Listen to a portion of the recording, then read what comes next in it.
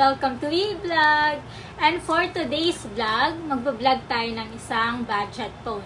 Or, should I say, si Infinix Hot 9. Kasi nowadays, napaka-importante para sa mga bata or mga estu estudyante ang isang budget phone na magagamit nila pang online class nila. So, ngayon, titignan natin or bibigyan ko kayo ng advice kung worth it ba tong si Infinix Hot 9. So, ito guys, na-receive ko na siya 3 days. 3 days na. From Lazada, in-order ko siya sa Lazada. Noong, noong September 9, nung nag-sale sila. Kaya nakuha ko lang siya ng 5,499. Ang regular price niya is 5,990. Ganun, ganun. 64 64 gig room and 4 gig RAM na siya. At unahin natin yung battery niya. Since nung na-receive ko siya, 3 days before, hanggang ngayon, isang beses ko pa lang siya na charge. And fast charging din yung charger niya. Mga 2 hours siguro na po full charge na siya.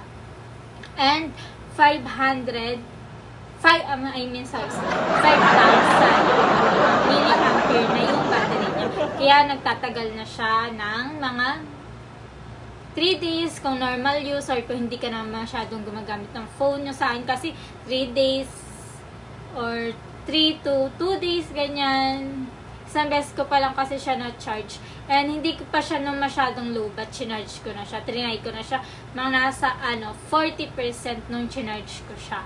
And mabilis lang din yung charging time niya. And ito yung front camera niya, front facing camera niya. And alam niyo ba guys, napakaganda ng front cam niya and yung back cam niya. Yung main camera niya is 16 megapixels. And yung dalawa is parehas na 2 megapixels. And yung isa is micro lens or VGA. VGA. Oo, VGA siya. And itong front camera niya, front facing camera niya is 8 megapixels. And nagulat din ako guys kasi ano, sa totoo lang, nagustuhan ko yung camera niya kasi sobrang ganda.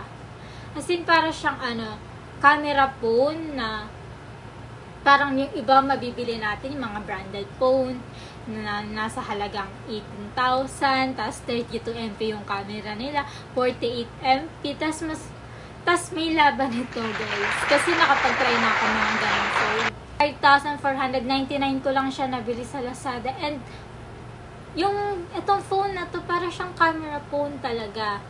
Sobrang linaw nung malinaw yung camera niya. Hindi naman yung sobrang ganda. Parang ah, 11 Pro Max. Ganun. May laban siya para sa ibang mamahaling phone na binabenta sa market. Yung mga halagang 18,000 pataas, ganyan. Guys, ang ganda ng camera niya, tsaka yung back camera niya. Yun lang, yun lang kapag sa gabi, hindi siya maliwanag. Or madilim siya pag sa gabi. As in yung pag low lights, ganyan. Hindi siya ganong kaliwanag. Pero kapag nasa, ano ka, mga nasa indoors ka na, indoor pero may ilaw, ganyan, malakas naman yung liwanag. Maganda yung camera niya. Papakita ko sa inyo yung mga samples camera ko. Ipap i-slide show ko dyan, ganyan.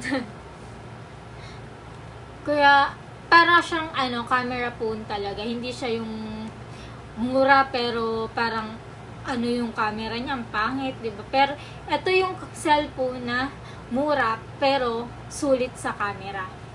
Okay.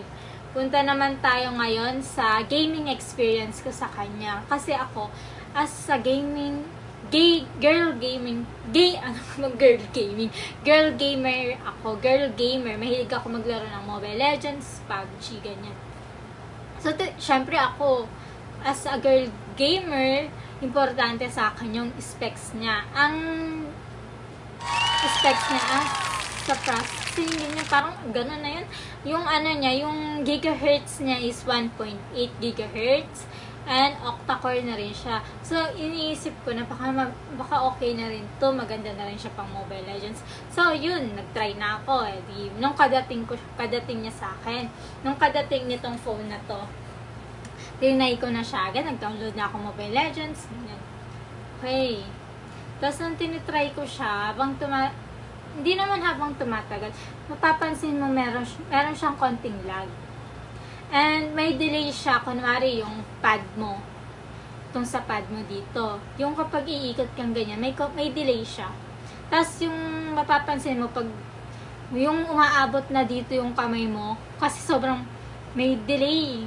Hindi naman sobrang delay, pero alam mo talaga, kunwari nanggaling ka sa mga mabibilis na phone, alam mo real time yung paglalakad nila. Hindi aabot dito yung kamay mo para lang makapaglakad siya na mabilis. Pero ito, naglalakad pati yung kamay ko para lang mag... Bilisan mo naman, huwag kang delay. Parang gano'n. Yung tipong gano'n. Kung talagang gamer ka, or yung talagang sanay ka sa mga magagandang phone para, ano, para sa paglalaro. Or gamit mo iPhone, ganyan, kasi yung mga yun, real time siya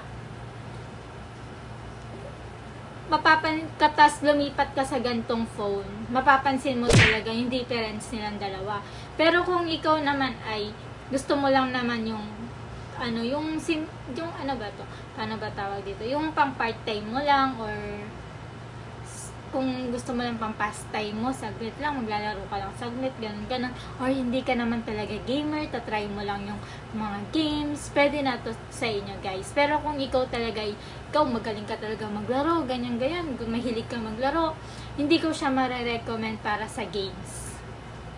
Mare-recommend ko siya para as camera phone, pero hindi ko siya mare-recommend kung ikaw ay gamer, tapos gagamitin mo tong gantong phone, as backup phone pwede sa paglalaro. Pero, as yung ito talaga yung gagamitin mo, hindi guys, baka murahin ka pa ng mga kalaro mo. Kasi, ano ba yan, boom, boom naman, ganun, ganun. Ano ba yan, ano pag ginagawa? Kasi baka, mag, alam mo, patay ka na, akala mo, boy ka pa pala. Sobra, hindi naman ganun ka, ano siya. Pero, hindi ko siya ma-recommend uh, sa games. Pero sa mga bata, sa mga simple games, Talking Tom, ganun, Cat talking, ganun, pwede siya. Yung mga simple games. Ngayon guys, punta naman tayo dun sa ano, sa, sa kanyang screen or display. And, ano ba yung ano nito? Pixels na wait. Tignan natin. Yung pixels niya is 720 by 1,600. Na, napapansin ko dun sa screen niya, wait lang ah, ito guys, hindi na masama, 'di ba? Hindi na masama yung display niya kasi nan ganito. Hindi na rin masama yung display niya, maganda din siya, guys. And plus tingin ko ito yung screen niya parang plastic. Ganun, hindi ko pa ano, pero parang plastic yung screen niya.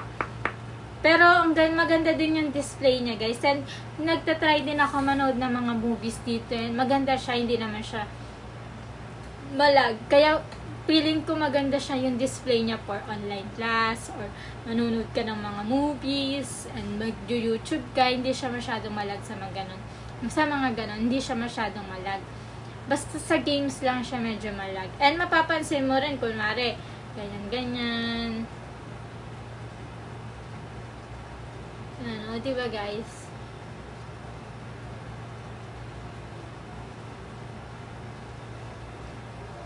Hindi siya yung ganong kabilis na ganyan-ganyan.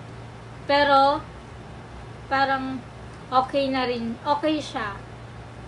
Yan. Pero may times na mapapansin mo, ayun, na medyo may pagkalag siya.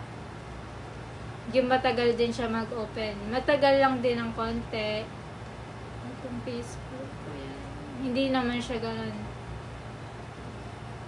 ganun kapangit guys. Maganda siya. Kasi rin maganda tong phone na to eh. Napakaganda niya. Para as budget phone, hindi ka nalugi dito. Yun lang sa games lang talaga. And, yung as, pwede, as, pwede siya as camera phone talaga eh. Bilib ako sa camera niya. yun talaga. Napabilib ako ng camera niya. And maganda yung display niya. Hindi yung hindi siya yung malabo or hindi yung sharp. Para sa akin, sharp na rin yung mga icons niya. Sharp na rin siya. And 4G. 4G na rin siya. Yun lang din, meron akong isang downside sa kanya. Maganda yung screen niya. Full, dis full, full screen display. And pag nanonood ka ng movies, maganda siya. Yun lang, yung speaker niya, parinig ko sa inyo.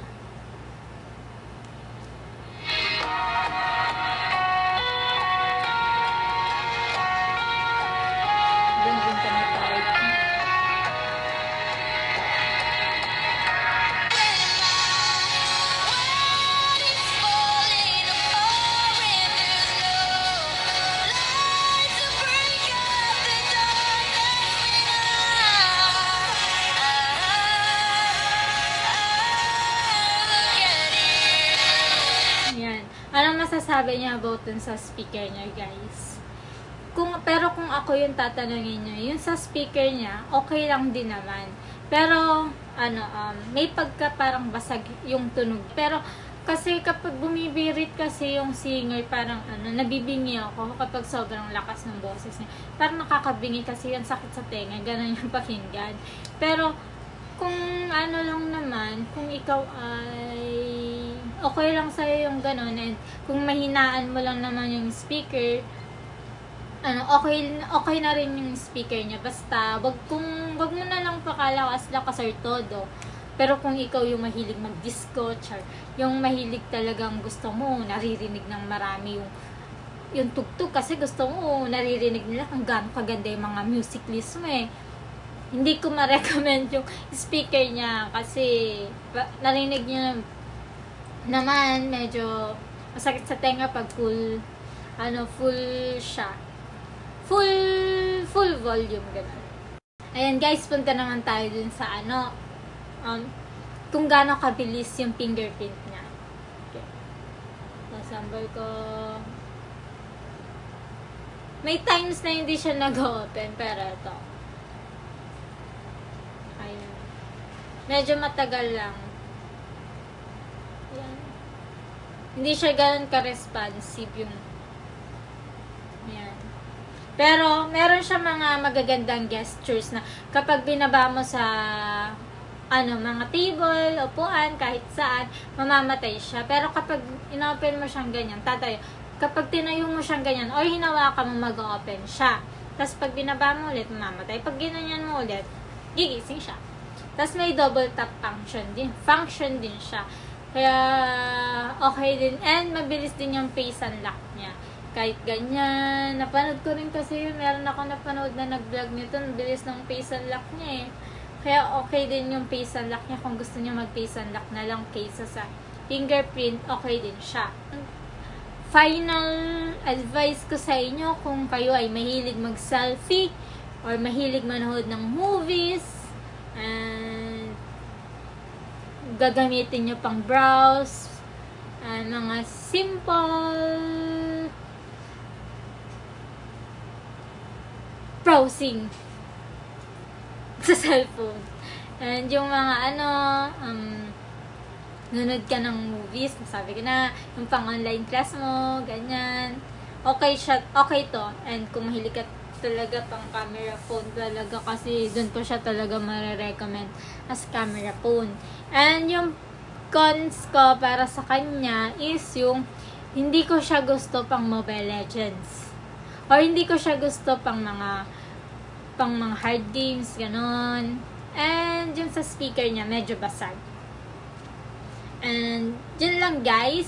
Pero kung pero sulit siya sa presyo niya kasi meron yung mga iba na for or may mga iba na mabibili kayong cellphone na 5,000 nasa around 5,000 ganyan. Pero hindi naman din maganda yung camera niya. Hindi rin naman smooth sa games. And hindi rin naman malaki yung display niya. Hindi rin naman sharp yung yung icons niya pero ito, para sa 5,000, around 5,000 sulit ka na. Hindi ka na yung magsisisi. Eh, ba't ito po? Sayang yung 5,000 ko, ganyan. Hindi ka mapapaganon. Masus sulit naman siya. And, kung hindi ko pa nasabi, gumagamit pa rin siya ng headphone jack. And, micro USB. Ito yung speaker niya. Yun lang, guys. Sana nagustuhan nyo tong video na to or itong review ko na to about sa Infinix Hot 9. And hindi ako nagsisi hindi ako nagsisisi dito na binili ko tong phone na to. Kasi ang ganda ng pang-camera. Yung camera phone talaga lang. Oo, maganda yung camera phone niya. And nakita nyo naman dun sa ano, kasi siguro pero kung ako nagandahan, baka kayo hindi kayo magandahan kasi iba-iba tayo ng standards sa isang phone, ganyan. Pero para sa standard ko pasado, yung camera, yung camera ng Infinix Hot 9. Yun lang sa games hindi siya pasado sa akin. Kasi hindi siya smooth. Pero kung ikaw ay okay lang sa'yo yung hindi masyadong smooth na pang Mobile Legends, hindi ka na magsisisi dito sa Infinix Hot 9. Bilhin nyo na. Kung mahilig din kayo mag-selfie, okay siya. Ayun lang guys, sana nagustuhan nyo tong review na to at kung gusto nyo pa mapanood yung mga susunod na reviews ko and vlog ko, ganyan. Sana subscribe kayo and hit the bell button. Yun lang, bye!